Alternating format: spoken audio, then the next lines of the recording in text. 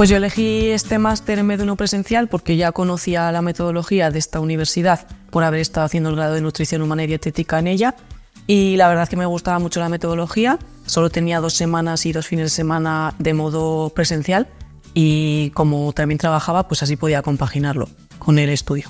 Pues la verdad es que como estoy trabajando, eh, sí que puedo sacar tiempo. Cuando salgo de trabajo puedo realizar los trabajos, ya que es un modo al final que te hace poder organizarte tú a tu modo. No tienes que hacer eh, nada en un horario concreto ni así. Tú tienes un plazo para realizar tus trabajos y pues cuando tengas ratos libres lo vas haciendo.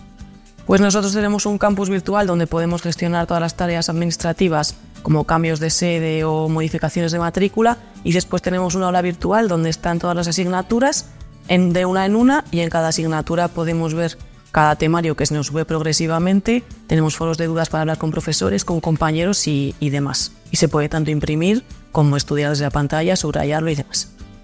Con los profesores hablamos a través, de a través de los foros o de los correos y con los compañeros pues también de los foros y a través de grupos que creamos. Además en este máster como hemos tenido presencialidad, sí que es verdad que hemos tenido relación directa con el profesor y con mis compañeros, cosa que es bastante de, de valorar pues para, tener también un poco esa presencialidad y conocernos entre todos.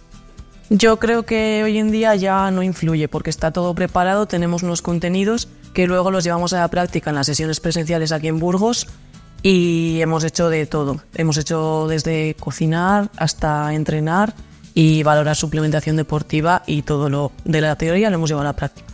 Pues lo, lo más positivo que nos llevamos yo creo todos es básicamente el poder estar aquí dos semanas y dos fines de semana juntos, realizando prácticas, conocernos y pues saber un poco también la opinión de, de todos y que no sea todo a través de una pantalla, que como no es mucho tiempo, pues al final te lo puedes gestionar tú. Y también tener contacto con, con los profesores que han estado con nosotros en todo momento ayudándonos un montón.